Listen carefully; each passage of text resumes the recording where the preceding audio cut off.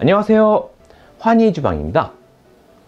예, 오늘 요리는 오늘 요리가 아니라 뭔가를 만들어 볼 거예요. 바로 짜장면의 기본이라고 할 수 있는 볶음춘장. 볶음춘장입니다.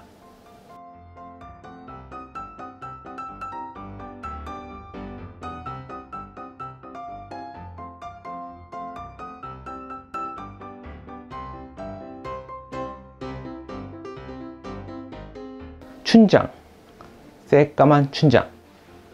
보통 춘장 하면 짜장면을 많이 떠올리죠. 뭐 짜장면 외에도 경장육수라던가 장포깨정, 장밥 허튀 같은 주 요리를 만들 수 쓰기도 해요. 근데 춘장 하면 역시 짜장면이에요.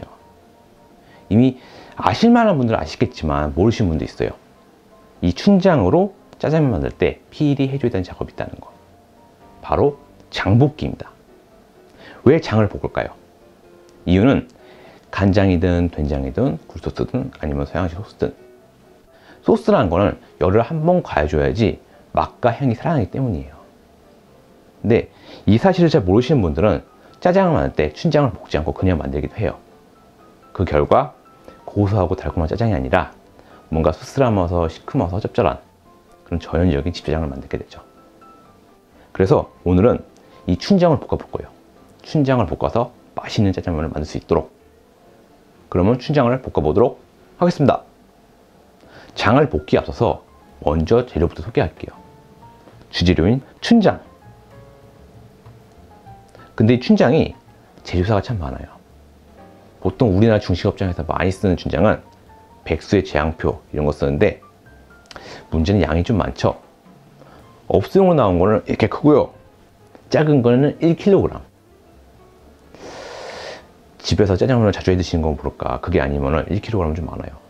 그래서 뭐, 뭐 이런 거라던가 이런 이런 이런 생산표라던가 그런 거 쓰기도 하는데 재수 같은 거는 크게 신경 쓰지 마세요. 그냥 아무거나 쓰시면 돼요. 그 다음에는 기름. 사실 춘장만큼 중요한 게 기름이에요. 어르신들께서 많이 그러시죠? 짜장 맛이 옛날보다 못하다. 요즘 짜장은 옛날 짜장보다 맛이 없다 이분들이 어, 향수 때문에 그런가 생각이 들 수도 있는데 사실이에요. 왜냐하면 옛날에는 라드 즉 돼지기름을 많이 썼거든요. 근데 시대가 지나면서 콩기름으로 대체가 됐어요. 근데 이 라드가 콩기름보다 풍미가 더 강해요. 딱 먹었을 때 고소한 맛이 나기도 하고 어, 착 달라붙는 그런 맛이 있어요. 그렇기 때문에 기름의 선택도 중요해요. 보통 중식업장에서는 콩기름을 많이 써요. 근데 이 콩기름도 같은 콩기름이 아니에요 업장에서는 한 번 이상 튀김했던 기름. 한마디로 한 번 썼던 기름을 써요. 왜냐면 이 새 콩기름에는 새 기름 특유 냄새가 있거든요. 이게 뭐라고 표현해야 되나? 너무 깔끔해 가지고 춘장하고 안 맞는 그런 경향이 있겠어요. 그렇기 때문에 한 번쯤은 튀김한 그런 기름을 쓰시는 게 좋고요. 콩기름이 좀 껄미직하다 그러시면 새 기름에다가 양파나 파를 넣고 한 번 튀긴 다음에 거기다 춘장을 볶으시는 게 좋아요. 자 그러면 시작! 먼저 불을 킵니다. 이거는 라드예요. 저번에 만든 적 있었는데 저는 콩기름보다는 이걸 쓸 겁니다. 라드를 넣어주세요. 아, 참고로 기름의 양은 춘장하고 기름이 1대1인 게 좋아요. 너무 적으면 잘 안 볶아지고 너무 많으면 춘장을 볶다가 탈 수가 있어요 자 여기에서.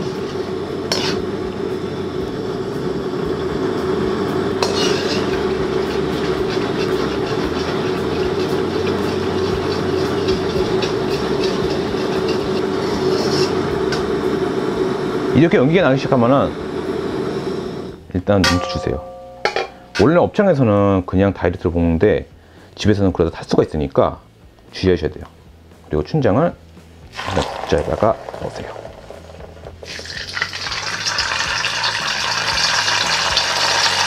그리고 넣습니다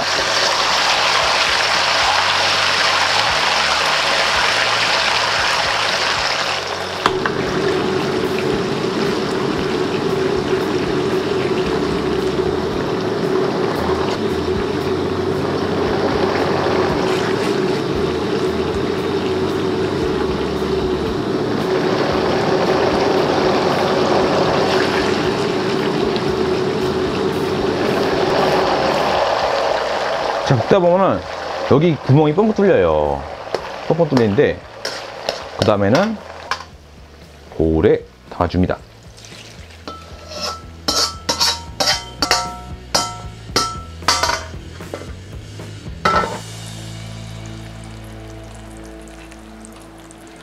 이렇게 춘장을 다 볶았습니다. 예. 보시면은 그냥 기름하고 춘장만 있습니다. 근데 살짝 덜 볶았어요. 원래는 좀 아슬아슬하게 볶거든요. 근데 그렇게 볶다 보면 탈 수가 있기 때문에 약간 덜 볶았어요. 뭐 일단은 이것도 먹어봐야겠죠. 세계 최초의 춘장 먹방 시작합니다.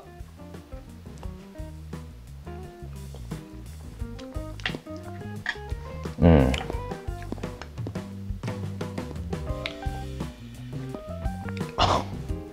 매니이 먹으니까 짜다. 근데 라드를 볶아서 그런지 끝맛이 되게 고소해요. 어우 이거 생으로 먹는 거 아니면 먹을만해요. 볶는 방법은 정말 간단합니다. 팬을 달구고 기름을 붓고 적당히 가열한 다음에 춘장을 넣어서 볶으면 돼요. 표면에 구멍이 뚫리면 재빨리 팬에서 내려서 볼에 척. 근데 이게 생각만큼 쉽지가 않아요. 왜냐면 춘장은 색이 검은쳐. 검었기 때문에 얘가 지금 제대로 볶아지는 건지 아니면 타고 있는 건지 알 수가 없어요. 그렇기 때문에 볶을 때는 와 오감을 곤두세워 가지고 냄새도 맡고 소리도 듣고 눈을 봐야 돼요. 약간은 어렵습니다. 이렇게 볶은 춘장은 냉장실이나 냉동실에 보관하시면 돼요. 필요할 때마다 꺼내서 짜장면을 만드셔도 되고요.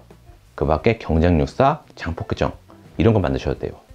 그리고 춘장 볶음 기름 있죠? 이 기름은 버리지 마세요. 춘장 고유 향이 녹아나거든요. 그렇기 때문에 짜장 만들 때 식용유 대신 쓰시면 됩니다. 오늘 이야기는 여기까지. 다음번에는 제가 내키는 거 아무거나 해보도록 하겠습니다. 자, 그럼 오늘 좋은 하루 되시고 안녕히 계세요. 그냥 적당히만 넣어주세요. 그 다음에 키친타올로 잘 문질러주세요. 작업을 하다 보면 이렇게 연기가 많이 나요. 이 연기 맛이 좋고 하나도 없죠? 그러니까 일단은 환기를 시켜주시거나 껐, 껐, 껐.